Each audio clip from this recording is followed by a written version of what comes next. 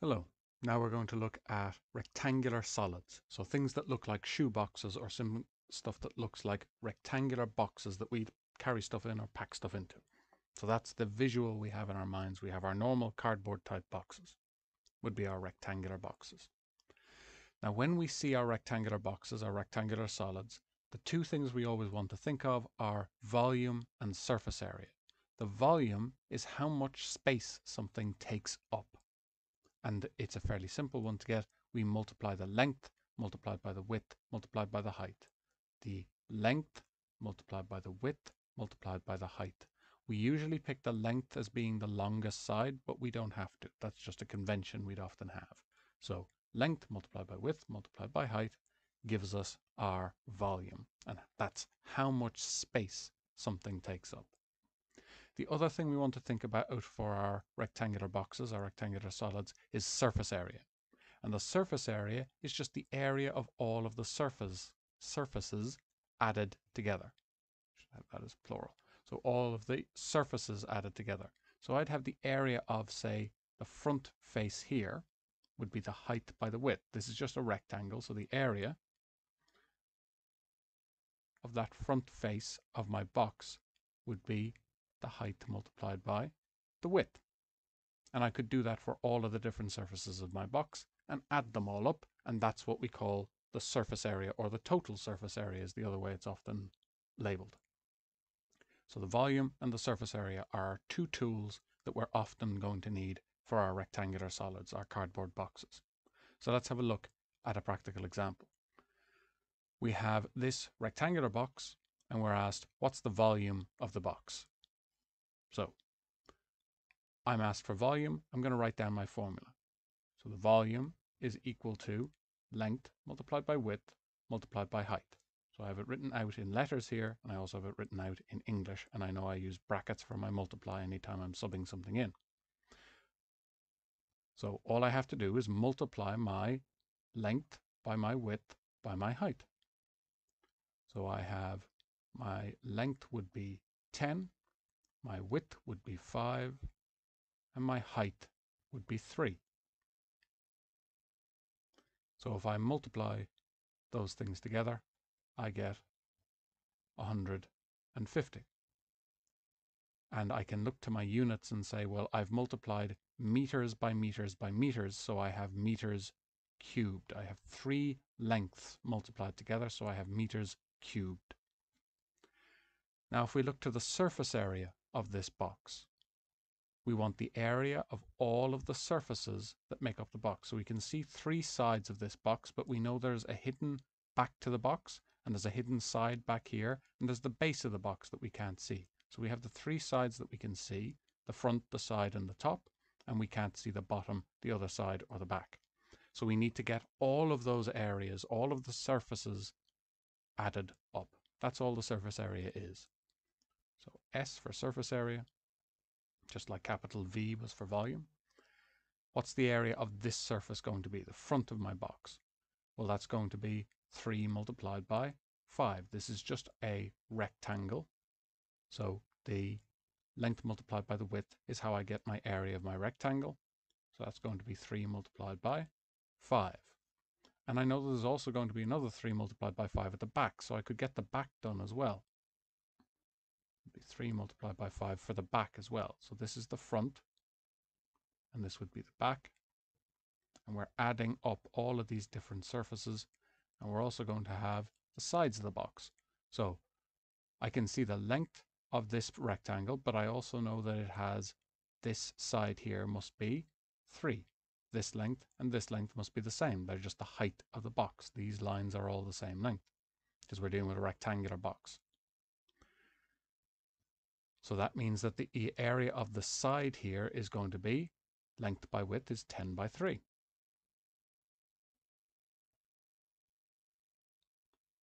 Plus another 10 by 3 for the side we can't see. For the side back here that is covered over by the top that we can't see because it's behind the top. So we have the front, the back, and the two sides all added up. And then what remains to us is we have to add up the top and the bottom of the box, the area of the top of the box that we can see here, and the area of the bottom of the box, or the base of the box. So what's the dimensions of our top of our box here? Well, we know this length must be the same as this length. We know this length must be the same as this length. So the area of the top of our box is going to be 5 by 10.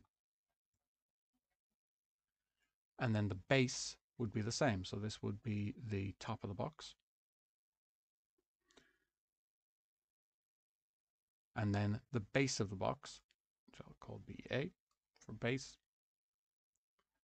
So uh, that is going to be 5 by 10 as well. Now I have all of these little bits of multiply to do.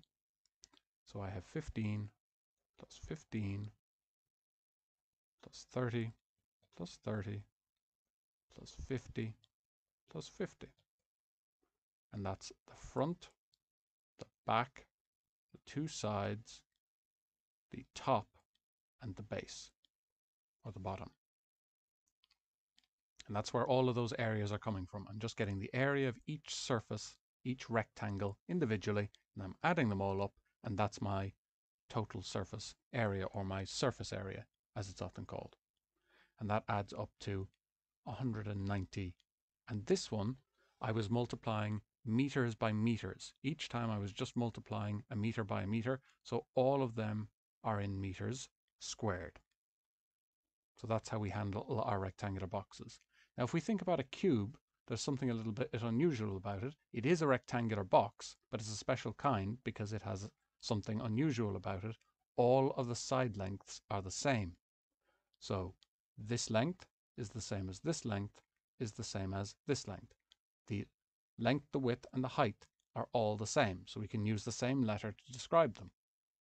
So the volume of my cu cube is going to follow exactly the same logic, but it's going to look a little bit different in its formula because the volume, which we're told about in the question, is going to be length multiplied by length multiplied by length and I have three things multiplied together. I have three L's multiplied together, so I would call that L cubed. Now, let's think about our question. We're told the volume of a cube is 8 centimeters cubed. What is the surface area? So I've thought about the fact that I was uh, told I had a volume of 8 centimeters cubed. That means that at L cubed, side length or the volume is going to be 8. So that's one piece of information I'm given in the question. And I'm also asked about the surface area of the cube. So the surface area is going to be all of my lengths, sorry, it's going to be all of the areas, I should say, of my cube all added up together. So the surface area would be my front face of my cube would be L multiplied by L. And then and, uh, the side face would, would also be L multiplied by L. And I can keep doing this for all of them all the way along. The back is going to be L by L. I'm going to write this and come back to you.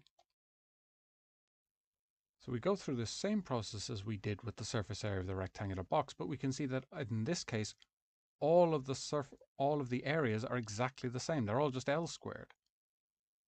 So we just end up with 1, 2, 3, 4, 5, 6 L squared. We just have 6 of the same area added up together. L multiplied by L is L squared. So we just have 6 of the same area multiplied together. Now if I want the surface area, I can see that I need to know the length because that's how I've defined my surface area. I need to know the length of the side of the cube. Well, can I figure it out based on what I was told? Well, I figured out that the volume was the length cubed, and I was told that that was 8. So the length cubed is equal to 8. So what number would I multiply by itself three times in order to end up with 8? Well, that means that, that L must be equal to, let's write this over here, L must be equal to 2 because 2 multiplied by 2 is 4, multiplied by 2 is 8. So L must be equal to 2. And then the surface area would just be equal to 6 times 2 squared, which is going to be 6 by 4 is 24. Now we could also do this out the long way. We could have found L2 and then we could have found our surface area was. I'm going to write it out the long way. So we could have also found the surface area by adding up the surface by adding up the areas of each one of the surfaces, the front, the side, the back, the side, the top, and the base. And when we added all of those up, 4 plus 4 plus 4 plus 4 plus 4 plus 4 would also equal 24. And our units should be centimeters squared because we're dealing with an area. Now finally, a rectangular box has a width and a length of 3 meters and a volume of 54 meters squared. Find its height. So let's write down what we know. We know the volume would be equal to the length multiplied by the width multiplied by the height is equal to 54. And we know the length and the width. The length is equal to the width is equal to 3. I'm going to draw the picture for this. So in a question where I'm told I have a rectangular box, I'm going to draw a rectangular box. And this is a really important skill to develop, just like writing down the formula for the volume is a really important skill to develop, and writing down L plus W, or L is equal to W is equal to 3. So with my picture, I can now fill in what I know. I know that the length and the width are both 3, and I'm asked about the height. So let's call that h. So I know that at 3 multiplied by 3 multiplied by h is equal to 54. So 3 multiplied by 3 multiplied by h is equal to 54. I got that from my picture and I got that from writing down the formula for what I was told about the volume being 54 and I know what the volume is for a rectangular box. So 3 by 3 is 9 by h is equal to 54 and I want to know what the height is. So what I need to do is divide both sides by 9. This is just solving an equation. And I get 6. The height must be 6, and the units I'm dealing with is meters. So that's how I approach a question like this, and this is really where we're heading in the long run. I get a block of information and I have to be able to tell myself the story of it. So I'm told I have a rectangular box. I draw a rectangular box. I fill in all the information into the picture, into the diagram uh, that I have from the question, and I write down any formula that I know that might help me with solving the problem. So I'm told about the volume, I draw uh, out the volume formula and any information I'm given, and with my picture and my formula, I'll be able to figure out the answer I need. And that's what we need for now.